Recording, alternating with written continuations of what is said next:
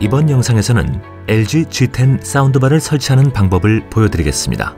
LG 갤러리 디자인 TV와 완벽하게 매치됩니다.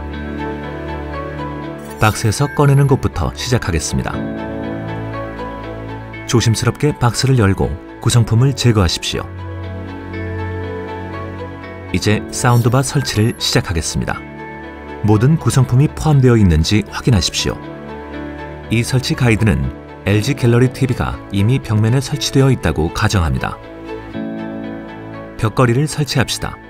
먼저 설치 가이드 용지를 준비하십시오. 두 개의 설치 가이드 용지를 펼쳐서 나란히 놓으십시오. 두 개의 설치 가이드 용지를 연결하십시오.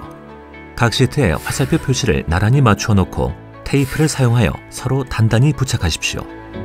다음 단계는 연결된 설치 가이드 용지를 사용하여 벽에 사운드바를 설치할 위치를 확인하는 것입니다.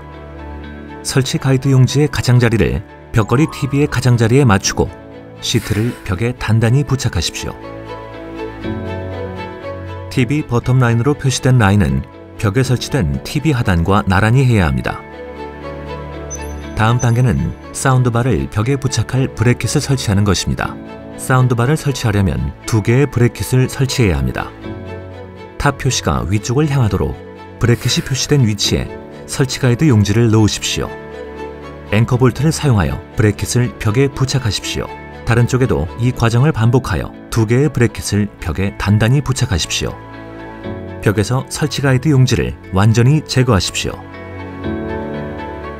사운드바와 TV를 연결하려면 먼저 HDMI 케이블을 TV 뒷면의 ARC 포트에 연결하십시오. HDMI 케이블과 사운드바 전원 케이블을 사운드바 뒤쪽에 연결하십시오. 그런 다음 케이블을 정리하십시오.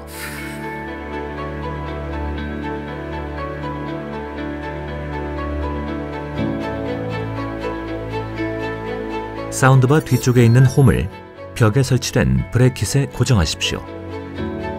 LG G10 사운드바 설치가 완료되었습니다. 벽에 멋지게 설치된 TV와 사운드바를 즐기십시오. 그렇지 않으면 사운드바를 벽에 장착하지 않고 스탠드 타입으로 사용하는 것을 설정할 수 있습니다.